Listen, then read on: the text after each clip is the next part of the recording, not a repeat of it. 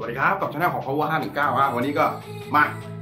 น้องเขาบอกว่าอยากให้มี EP 2 เป็นเอฟเฟกต์ก้อนบ้างนะฮะ หลังจากรอบแรกเราทำตัว multi effect ไปเรียบร้อยแล้วนะฮะตัวบอสที่เรามาปรับเสียงกัน แต่ทีนี้เอฟเฟกต์ก้อนมันก็ไม่ต่างกันนะฮะ จริงๆก็เหมือนเหมือนกัน เพราะว่าอยู่ที่การปรับเหมือนเดิมนะฮะ ก็เดี๋ยวมาดูอุปกรณ์กันแล้วกันนะฮะมาโอเค ตอนนี้เนื่องจากผมว่าไอ้เจ้าแอมตัวใหญ่ ๆ แบบเนี้ยเสียงมันค่อนข้างที่จะ ออกลำโพงใหญ่มันมีความแบบดังมากๆอยู่แล้วนะฮะมันก็จะต่างกันกับพวกแอมตัวเล็ก ๆ ประมาณนะฮะเพราะแอมตัวเล็กมันก็จะมีสิทธิ์ที่เราจะได้ยินเสียงที่มันจะบี้ง่ายกว่าประมาณนั้นเองนะฮะเพราะว่าเรื่องเกี่ยวกับลำโพงด้วย เกี่ยวกับอะไรด้วยมันก็จะจะทำเสียงเบสทำอะไรออกยากหน่อยประมาณนะฮะก็เลยเอามาต่อกับมาแชลให้ดูนะฮะดีกว่า เราจะได้ยินเสียงที่มันเรียกว่า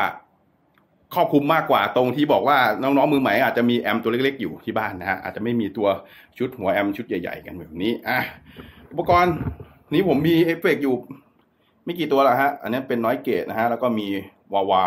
แล้วก็ Metal Zone แล้วก็มี overdrive แล้วก็มี delay อยู่แค่นี้นะฮะ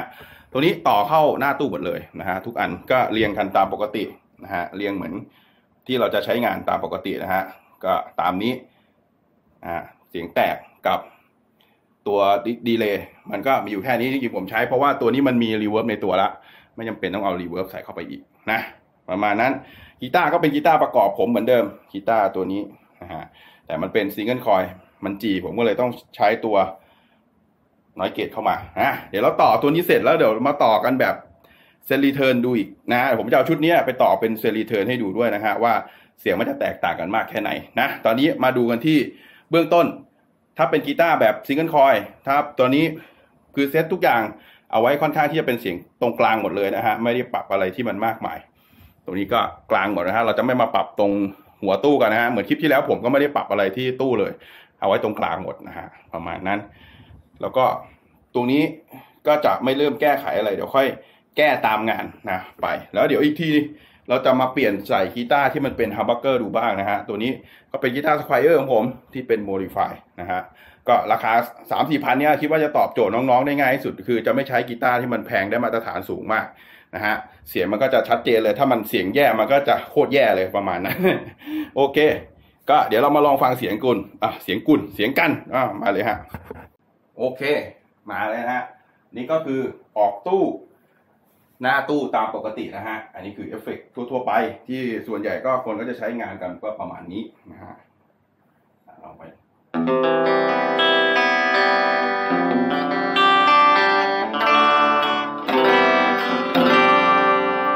เสียงคลีนคงไม่ค่อยมีปัญหากันเท่าไหร่ เพราะว่าเปิดเสียงคลีน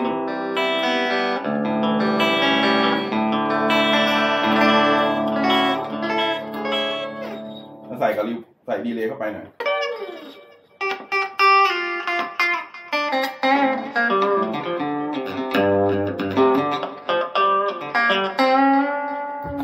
ที่ผมปรับเอฟเฟกด้วยแล้วกันข้างล่างหน่อยนะมันจะพอมองเห็นเสียงข้างบนก็คือเป็นหัว Marshall อยู่แล้วนะ อันนี้ปิด delay ก่อน เราจะใช้ตัวไหนก่อนก็ได้นะฮะแต่ wah wah ผมไม่ต้องเหยียบหรอกเพราะ wah wah มันแค่เป็นการเพิ่ม amplitude เฉยๆนะฮะก็เปลี่ยนสุ้มเสียงจากคีย์สูงไปคีย์นั้นเฉยๆนะเดี๋ยวมาลองดูพวก overdrive Metal Zone ดูซิเสียงมันจะแย่ไหมนะฮะ Metal Zone ไปเลย นี่คือปรับตรงกลางเลยฮะ Metal Zone ก็มือไม่ได้ไม่ได้ปรับไปด้านไหนนะ อันนี้คือเสียงเมทัลโซนนะฮะ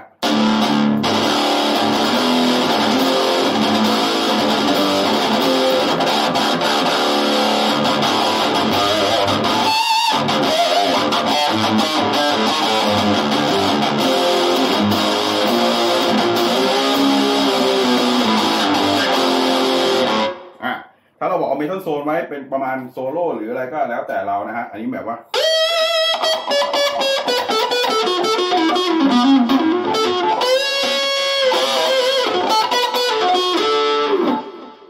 ก็แล้วแต่ความต้องการนะ อันนี้ก็เน้นเสียงไปทาง distortion อะ เราไปทางโอไดกันบ้างนะฮะ โอไดก็เป็น เป็น OD OS 2นะฮะ เสียงมัน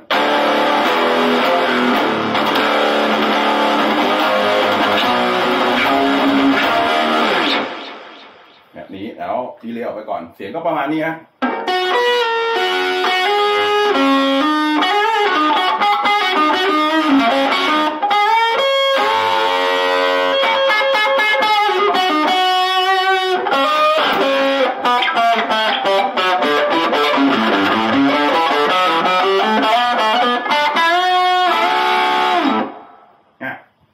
ก็ไม่แย่นะพอต่อเข้าหน้ามันก็ปกติเลยฮะ สามารถใช้งานได้อยู่แล้ว ไม่มีปัญหา แต่ถ้าบอกเราจะผสมกัน มันก็ผสมได้กดหมดทุกอันเลย แต่ว่าเราก็ต้องลดเกณฑ์พวกอื่นๆ เพื่อให้มันเอาไว้บางอย่างนะเหมือนเช่นเราบอกว่าจะเอามาบูตกันก็ มันก็ต้องปรับให้มันลดลง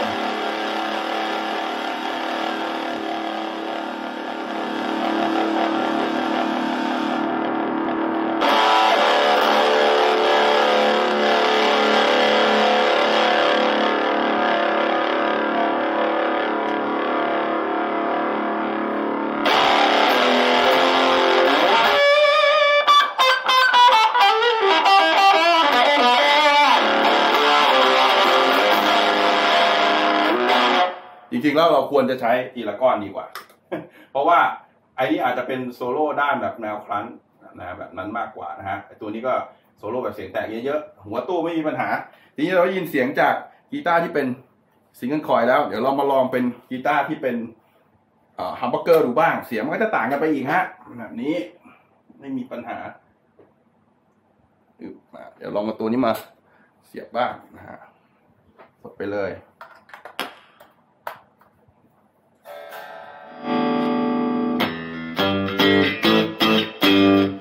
ผมจะเล่นตัว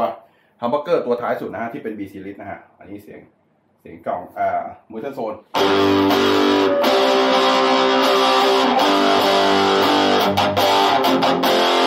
อ่าไม่มันจะไม่จีละอ่าความจีมันเงียบเลย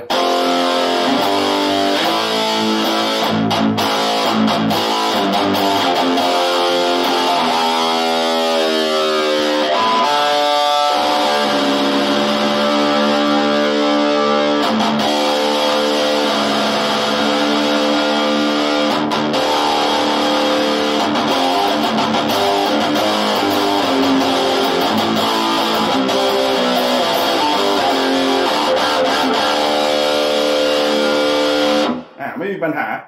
อันนี้สำหรับหน้าตู้เดี๋ยวลองมาเป็นเสียงโอ้ได้อยู่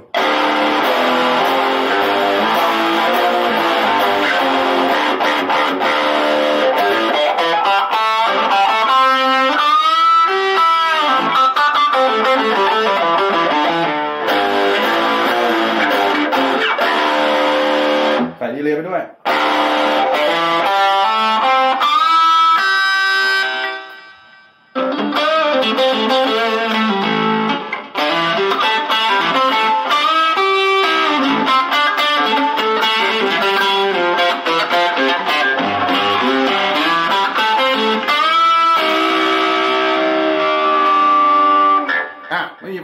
เสียงเป็นแบบนี้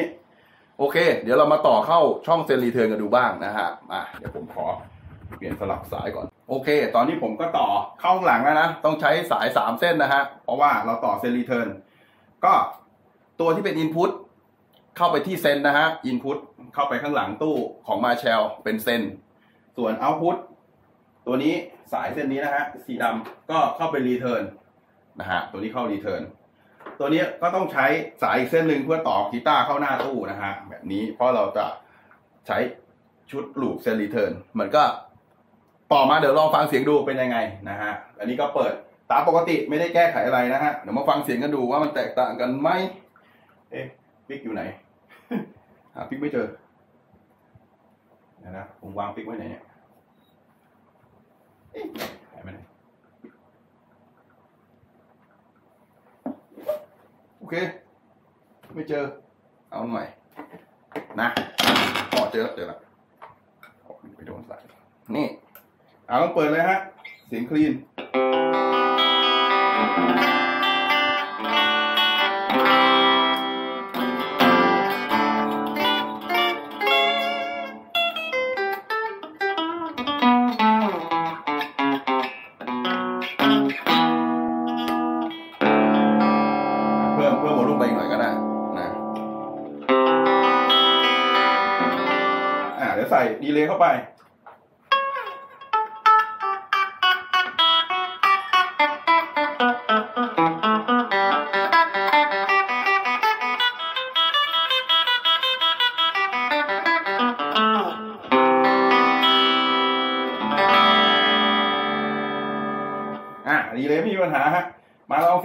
ล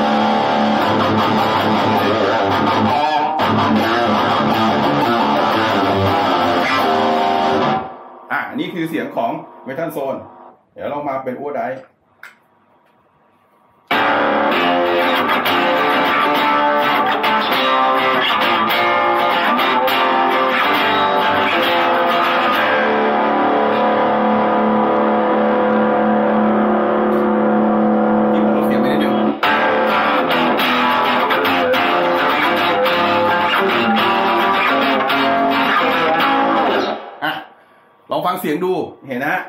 ถ้าเราต่อเข้าตัว return นะฮะมันก็ send return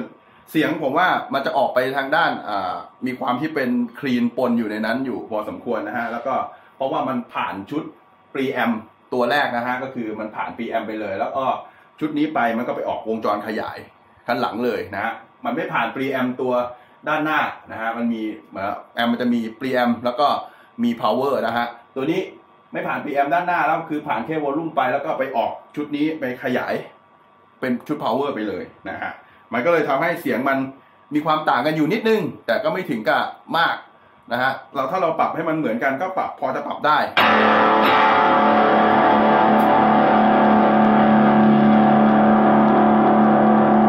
จะเห็นได้ว่าเสียงแตกมันจะมีความลดลดลง มันจะไม่แตกผ้าเหมือนเหมือนตอนตอนที่เราต่อหน้าตู้นะฮะ อันนี้เลือกเอาเลยฮะ สามารถต่อได้มีปัญหาเราก็มาปรับเอาตามความต้องการเรานะฮะแค่นั้นเองอ่าอันนี้ อันนี้ผมเปิดตัวเมทัลโซนะดิสซอร์ชันสุดเลย มันแตกแค่นี้เอง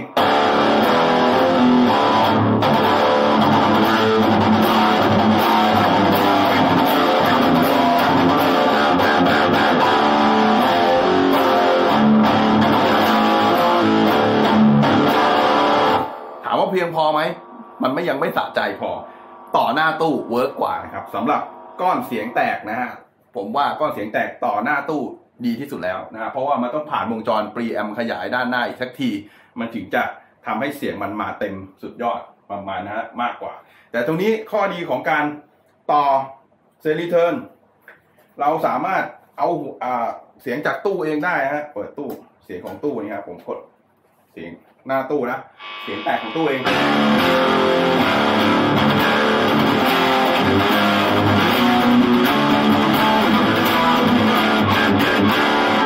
เราก็ทำมาเปิดเข้าไปอะ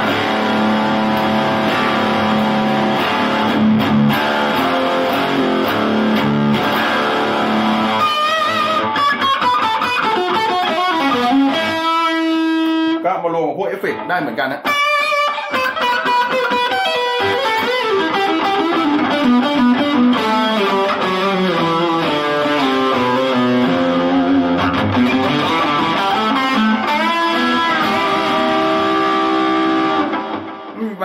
จริง ๆ แล้วเราต่อหน้าตู้ก็สามารถเปิดตัวเสียงแตกตู้ได้เหมือนกัน แต่เราต้องปิดเอฟเฟกต์ตัวอื่นก่อนนั่นเองฮะมันไม่ควรผสมกัน เดี๋ยวเราผมผมลองผสมดูนะ ถ้ามันเป็นเซรีเทิร์นอ่าผมผสมตัวนี้กับเสียงครันนิดนึง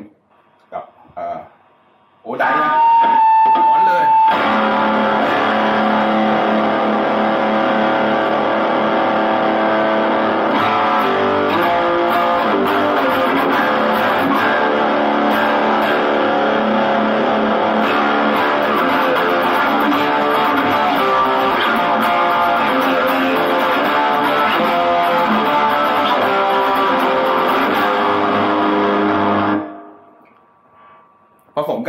ไม่ค่อยดีเท่าไหร่เหมือนกันนะฮะเพราะว่า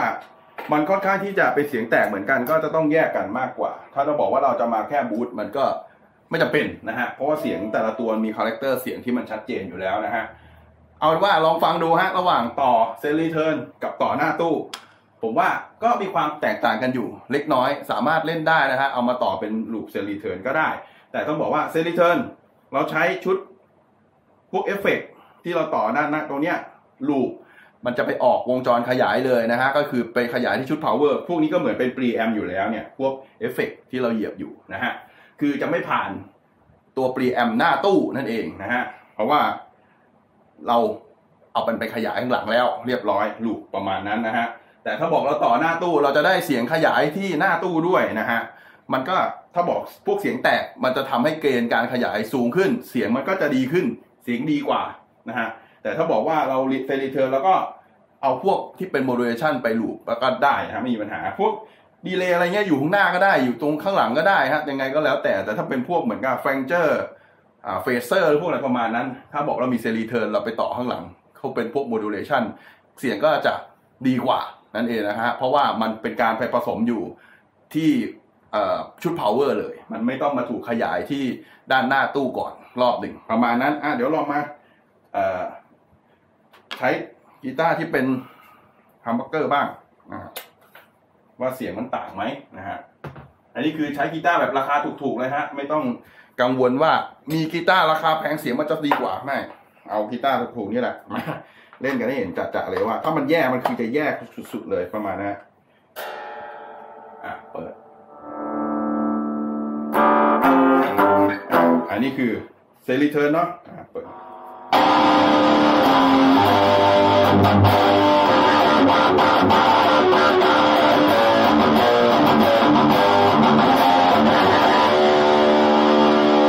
นไหมฮะ เปิดเสียงแตกจนเกือบสุดก็ ไม่ค่อยแตกเท่าไหร่ เพราะว่ามันไม่ค่อยแบบ ถูกขยายมากนะครับ เท่ากับเหมือนโดนข้างหน้านะพวกเสียงแตกนะมันพวกเกี่ยวพวกเสียงแตก ตรงนี้ไม่มีปัญหาสำหรับพวกดีเลย์พวกอะไรไม่มีปัญหา มันต่อไงก็ได้ อ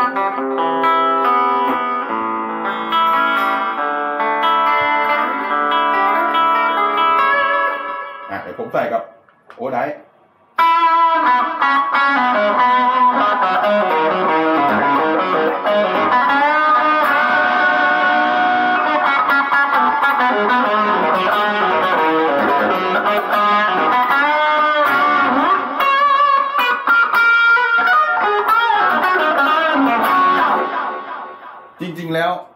ถ้าบอกว่าถามผมนะ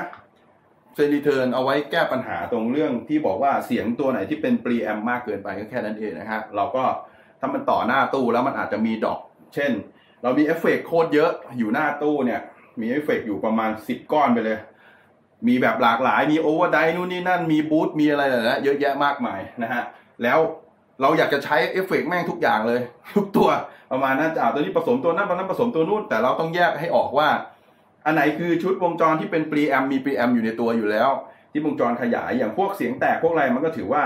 เป็นวงจรที่มี preamp ขยายทุกนั้นก็เป็น preamp หมดนั่นแหละจริงๆแล้วอะเป็นมันมีวงจรขยายเบื้องต้นอยู่ในตัวอยู่แล้ว แต่มันขยายต่างกันนะฮะอย่างพวกเสียงแตกเนี่ยมันก็คือการขยายของคลื่นเสียงนะฮะคลื่นเสียงจากอ่าเขาบอกว่ามีคลื่นเสียงเป็นรูป sine wave อย่างเงี้ยฮะเป็นคลื่นแบบนี้ เสียงแตกมันก็จะไปเกาะอยู่ตาม sine wave ปุ๊บปุ๊บปุ๊บปุ๊บให้มันเกิด เสียงซ่าเสียงพร่ามัวแล้วก็เกิดความถี่เกิดขึ้นอยู่ในรูปคลื่นประมาณนั้นนะฮะมันก็เลยทำให้เสียงแตกเนี่ยมันก็ไม่ทำให้ amplitude มันสูงขึ้นมากนะฮะประมาณนั้นเพราะมันเกาะอยู่กับรูปคลื่น แต่ถ้าบอกเป็นพวก modulation modulation คือเสียงที่มันไม่คงที่นั่นเองฮะเหมือนเช่น ถ้าบอกว่าเรามีเสียงเป็นแบบพันเหมือนพวก phaser แบบเนี้ย ปกติคลื่นเราเป็นเหมือนคลื่น AC กระแสสลับแบบนี้ฮะ เป็นคลื่น ถ้าบอกเราใส่ phaser เข้าไป phaser มันจะกลายเป็นว่ากลับ phase ไปมาใช่ไหมกลับด้านไปมากลับด้านไปมากลายเป็นรูปมันจะกลายเป็นเหมือนเลขแปดไปเรื่อยๆประมาณนะฮะเป็นเลขแปดเหมือนรูป infinity ประมาณนั้นอะ มันจะเหวี่ยงไปเหวี่ยงมาเหวี่ยงไปเหวี่ยงมานะฮะพอเรามาใส่หน้าตู้มาผสมกับพวกเสียงแตกเนี่ย มันก็เลยเกิดความถี่มันชนกันได้นะฮะความถี่ของเสียงที่มันมีอยู่ความถี่แบบกิ๊กกิ๊กกิ๊กอย่างเงี้ยที่ทำให้เกิดเสียง distortion เนี่ย มันไปผสมแล้วมันทำให้เสียงมันพร่ามัวได้นั่นเองนะฮะอันนี้มันวัดกันที่เรื่องของรูปคลื่นเลยนะ เกี่ยวกับเรื่องอิเล็กทรอนิกส์นิดหนึ่งนะมันก็ประมาณนั้นถ้าบอกว่าใครมีวงจรมี scope มาวัดดูก็ได้นะฮะมันคลื่นมันจะมีความแตกต่างกันในแต่ละอย่าง เหมือนกับพวก delay มันก็เป็นเสียงตามมันก็ทำให้เสียงมันมาช้ากว่า มันก็ยังเป็นรูปคลื่นเดิมอยู่ มันเลยไม่มีปัญหาที่จะต่อ หัวก็ได้ท้ายก็ได้ไม่มีปัญหาเลยนะฮะส่วนอย่างอื่นอะมี phaser phaser อ่า phaser อย่างบอกไปแล้วเมื่อกี้ phaser มันคือสลับ phase ไปมานะเราบอกเราเล่นคลื่นปกติตัวนี้มีข้างล่างด้วยนะฮะมีข้างล่างคู่กันปุ๊บปุ๊บปุ๊บปุ๊บเป็นคู่กันสลับไปมาสลับไปมาอย่างนี้ แต่ถ้าบอกว่าเป็นอ่า flanger flanger มันคือเสียงแบบอ่าออกไปทางด้านด้านกว้างนะฮะด้านด้านด้านวายมันก็ทำให้เกิดมีลูกคลื่นอยู่ภายในของคลื่นอีกทีหนึ่งอย่างนี้เท่ากับว่ามันจะไปรบกวน phase เดียวกันกับของเสียงแตกได้ประมาณนะฮะก็คือพอเราเล่นมาผสมกับพวกเสียงแตกเนี่ยมาก ๆนะแล้วกดหลายตัวพร้อมกันเนี่ยมันก็ทำให้เสียงพร่ามัวแล้วเสียงมันฟังดูบี้แบนได้นั่นเองนะฮะอันนี้เกี่ยวกับของลูกคลื่นของอวิทยาศาสตร์นิดนึงประมาณนั้น มันก็ไม่ต่างอะไรกันกับที่เราเหยียบโอเวอร์ไดรวมกับดิส t อร์ชันก็คือเหยียบโอเวอร์ไดแบบนี้รวมกับเมทัลโซนนะฮะ เสียงมันก็คลื่นมันชนกันแบบนี้ฮะเหมือนผมจะเหยียบพร้อมกันแบบนี้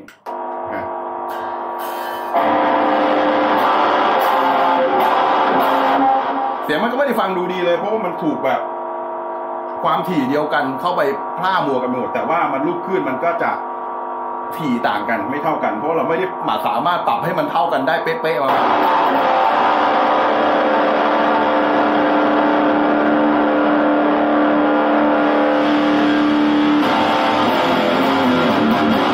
แบบนี้แบบนี้ถ้าผมใส่ ตัวตัวนี้มันเป็นโอทั้งโอไดดิส t อชันด้วยกันนะสองลูกถ้าผมเป็นดิส t อชันด้วยกันตัวนี้คือดิส t อชันกับดิส t อชันเฟสมันค่อนข้างจะตรงกันละมันสามารถใช้งานได้เลยนะฮะเหมือนกับตัวนี้ปรับเป็น DS นะฮะตอนแรกเป็น overdrive เห็นไหมเรา overdrive นะ overdrive เห็นไหมเสียงมันปนกันค่อนข้างจะมั่วเลย แต่ถ้าบอกว่าผมเปิดมันเป็นดิส t อชันให้มันเหมือนกันกับตัวเมทัลโซนนะผมเมทัลโซนคือดิส t อชัน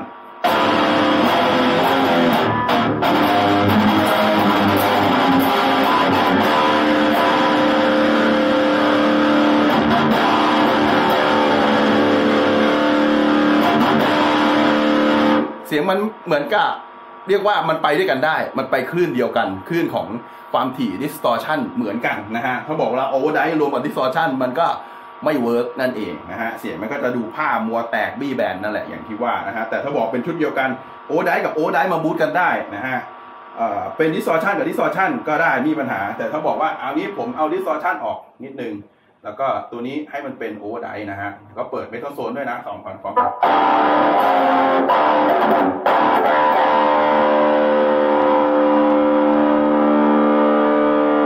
มันก็ ไม่มีคลื่นของ distortion เข้ามาเกี่ยวข้องเห็นไหมมันก็ไม่มีปัญหา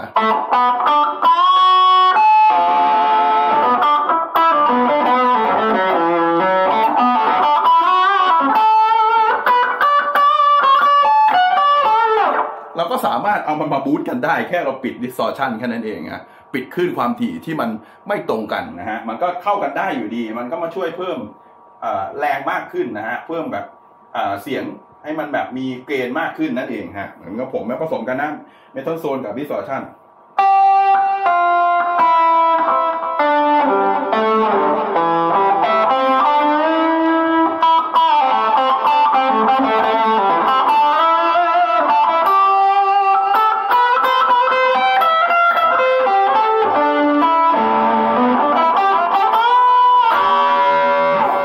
มันก็ไปด้วยกันได้ฮะไม่มีปัญหาแบบนี้ ขึ้นอยู่กับว่าเราจะทราบมันว่าตัวแต่ละตัวเนี่ยมันมีคลื่นแบบไหนนะฮะเราก็สามารถที่จะเลือกเฉพาะคลื่นตรงนั้นมาใช้งานได้นะฮะไม่ว่าจะเป็นเมทัลโซนที่เป็น distortion นะฮะตัวโอไดเป็นแบบโอไดมันก็ต่างกันตรงคลื่นความถี่ แต่ถ้าบอกว่าเราปรับจนมันลดลงให้มันใกล้เคียงกันได้ มันไปด้วยกันได้ มันมามาบูตกันได้ได้ซ้ำไปนะฮะไม่มีปัญหา ผมจะเปิดตัว distortion เพิ่มอ่า metal zone แบบนี้ เพื่อเอาโทนมันใช้นะฮะ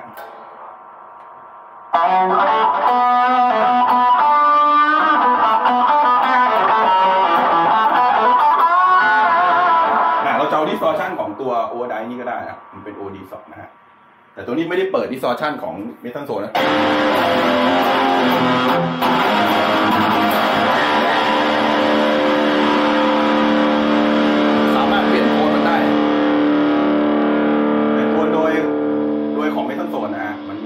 ลโซนนะฮะ มันเหมือนมีการเพิ่มกันขยายกัน